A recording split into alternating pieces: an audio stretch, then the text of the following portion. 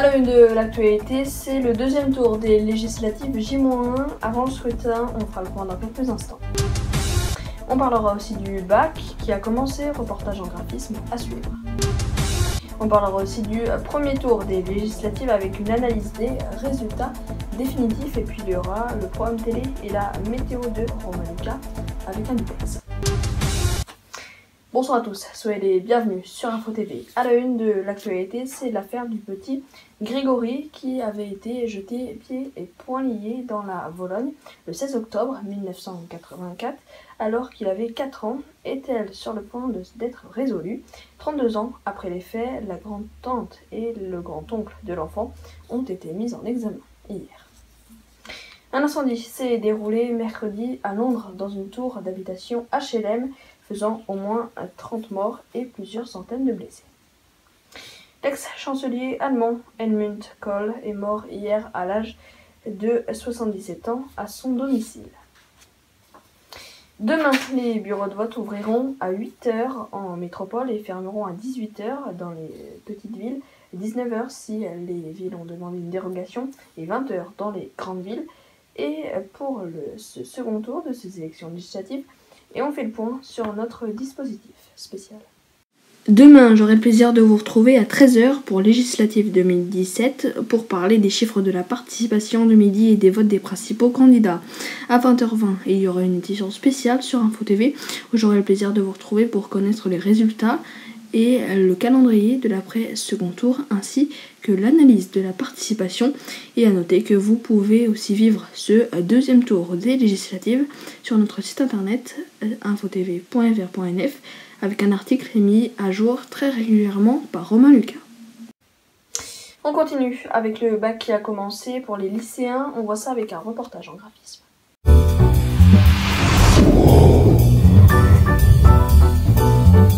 D'abord, le fameux nombre de candidats, ils sont 1 250 000. Ce chiffre comprend les candidats aux épreuves terminales, 718 000, et les candidats aux épreuves anticipées, passés en première, 537 000. Et bien, parmi ces 718 000 candidats aux épreuves terminales, il y en a 28% qui passent le bac professionnel, 53% le bac général et 19% le bac technologique. Et puis il y aura 4 millions de copies à corriger et elles seront corrigées par 170 000 correcteurs. Au niveau des fraudes au bac en 2016, eh bien vous le voyez, la plus grande majorité, à 34%, eh bien c'est l'utilisation des nouvelles technologies comme les smartphones et les tablettes.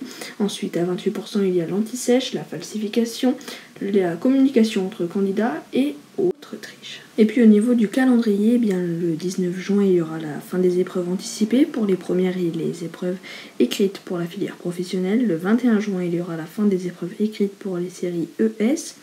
Le 22 juin, il y aura la fin des épreuves écrites pour les filières technologiques et générales. Du 26 juin au 3 juillet, il y aura les euros de français pour les premières. Le 5 juillet, il y aura les résultats des épreuves écrites pour toutes les séries. Du 7 au 8 juillet, il y aura les euros de rattrapage.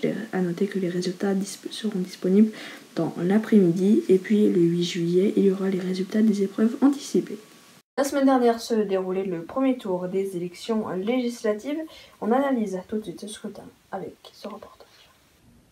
On commence avec les résultats finaux de ce premier tour des législatives. Le parti d'Emmanuel Macron est à 32,32%, le parti LR et UDI est à 21,56%, le parti de Marine Le Pen et de Jean-Luc Mélenchon, eux, n'ont pas réussi à réitérer leur score euh, du, de la présidentielle, le PS lui est encore en recul avec 7,91%. C'est un score historiquement bas et les petits partis ne font pas plus de 4,5%. Au niveau de la participation, elle est très faible, moins d'un électeur sur deux est allé voter, 48,71%. On va maintenant comparer les euh, sondages avec les résultats finaux du premier tour des législatives. Vous le voyez à J-2 avant le premier tour du scrutin, eh bien, la République en marche était créditée de 29,5%. C'est donc euh, plus pour Europe Écologie Les Verts, Debout la France et la République en marche avec le Modem. Par contre, eh bien, les autres partis, les Républicains, le Front National, la France Insoumise, le PS et le PS et l'extrême gauche, eux, étaient trop haut placés.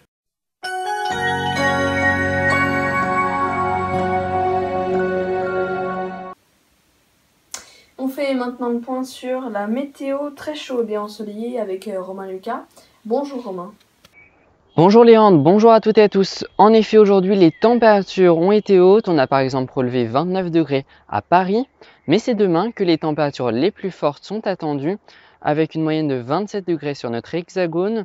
Il fera par exemple 29 à Ajaccio, 32 degrés à Paris, 30 à Caen, 29 à Strasbourg et même jusqu'à 34 degrés à Bordeaux. On devrait frôler la canicule, donc un conseil, hydratez-vous bien et sortez le matin ou le soir. Côté des prévisions météo, pas de jaloux, un grand soleil sur toutes les régions avec zéro nuage à l'horizon. Ce beau temps et ces grosses chaleurs devraient durer toute la semaine, alors profitez-en.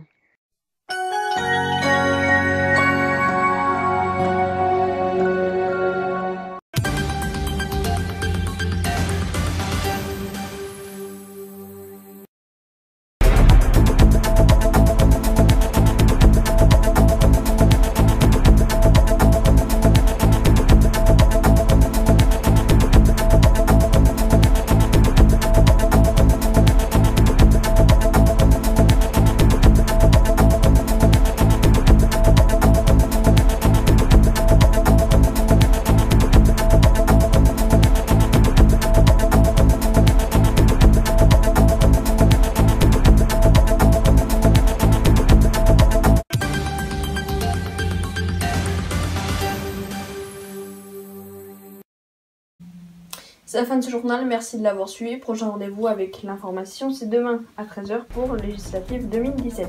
Excellente soirée et à demain.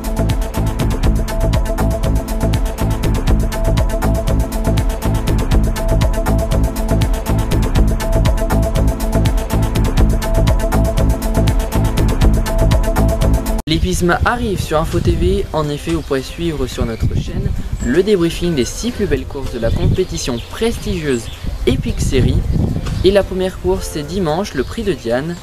Une course que je vous débrieferai à 17h sur notre chaîne YouTube, à dimanche sur Info TV. Retrouvez Epic Series sur le prix de Diane demain à 17h sur Info TV.